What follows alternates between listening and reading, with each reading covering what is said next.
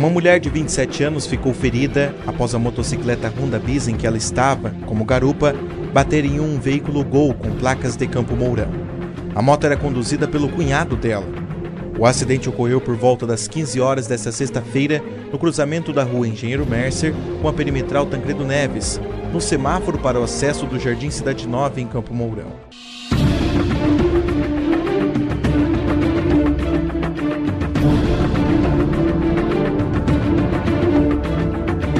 Motorista do Gol, de 44 anos, contou que ambos seguiam pela Engenheiro Mercer, sentido centro ao Jardim Cidade Nova.